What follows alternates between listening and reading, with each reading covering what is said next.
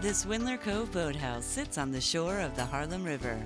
It's home to a high school crew team comprised of students from around the city. About three years ago, one of the coaches from this boathouse came to my school and told us about it, and I'd never heard of rowing before, ever. So I decided to try it and really loved it.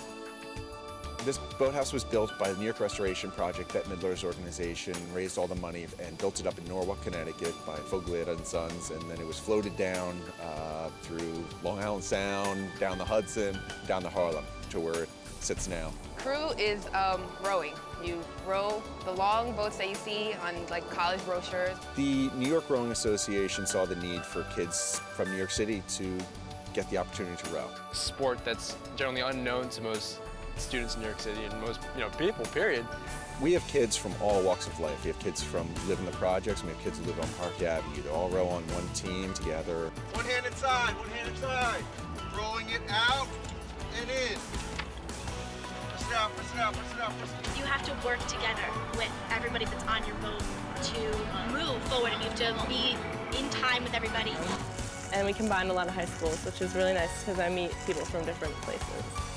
Right now, I'm in the shell, which is the boat. I am the coxswain. I drive the boat and I steer it and I tell the rowers what to do. Most of the responsibility is on me.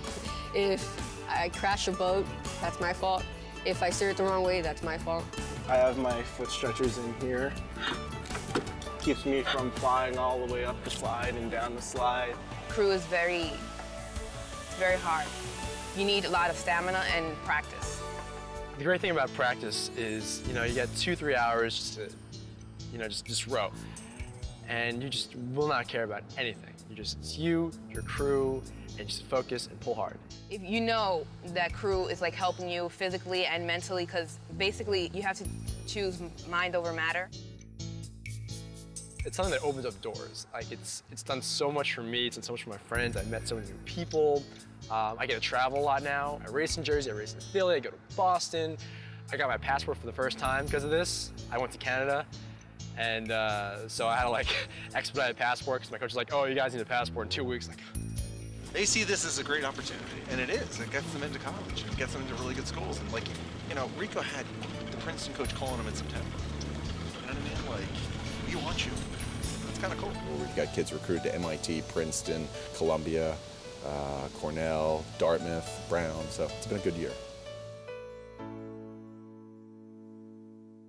Uh, I like sculling a lot because it's like really even and like almost meditative, even though you're like pushing the hardest you can. You're, you're like so calm and relaxed. Last 20 seconds!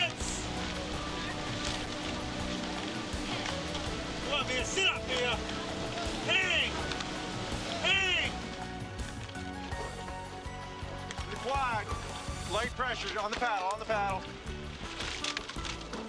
Let's go. Get the hands away. Take the rating up. Let's go, Derek. Get up to 35. You know you did a good job if your body is sore, and then you wake up the next day and you can't get up, but then you know, I did, I did good. I did really good.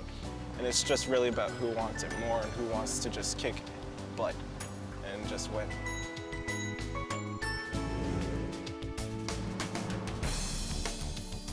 If you're interested in joining the team, log on to the New York Rowing Association's website